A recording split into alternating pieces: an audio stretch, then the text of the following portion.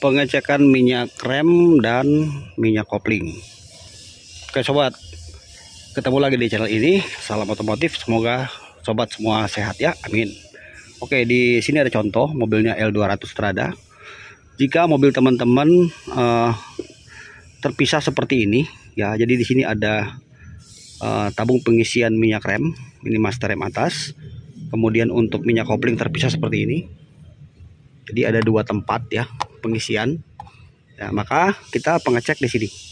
Untuk minyak rem kita cek tersendiri ya.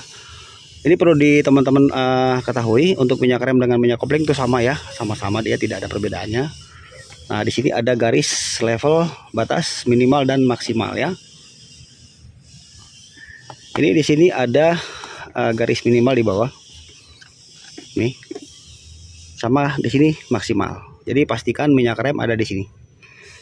Kalau misalnya dia sudah turun di sini atau sudah di uh, garis minimal atau turun lagi, biasanya lampu indikator akan menyala.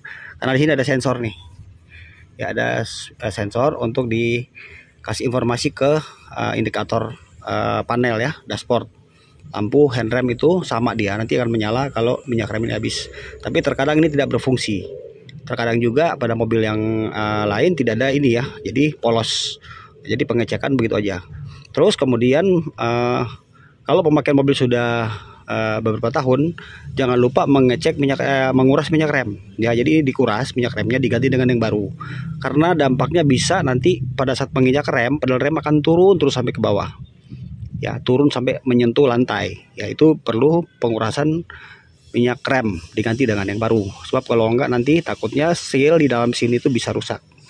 Oke yang kedua di sini ada minyak kopling.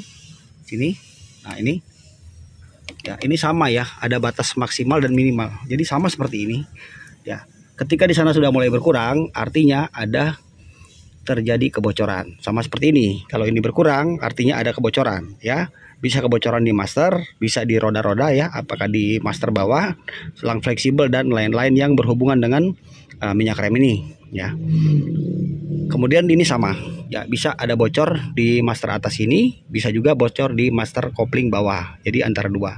Nah, pada mobil yang lain ada minyak remnya itu dia jadi satu ya untuk selangnya. Jadi ini tuh posisinya lebih di bawah daripada si uh, master rem jadi lebih di bawah. Jadi nanti dia ngambil minyak rem itu dari sini dari tabung ini. Hanya pemasangan uh, selangnya dia lebih di atas. Nanti turun turun ya minyak rem turun. Kenapa harus lebih di atas? Supaya ketika terjadi kebocoran pada master kopling atas minyak rem hanya berfokus pada kopling saja yang bermasalah ya tidak bermasalah pada rem. Jadi rem tetap berfungsi dengan baik teman-teman. Seperti itu Oke, demikian sedikit kita berbagi buat teman-teman semuanya. Uh, video untuk edukasi aja buat teman-teman. Jangan lupa subscribe dan teman-teman nanti kita jumpa lagi di video berikutnya. Salam otomotif. Semoga selalu dan tetap semangat teman-teman. Oke, thank you.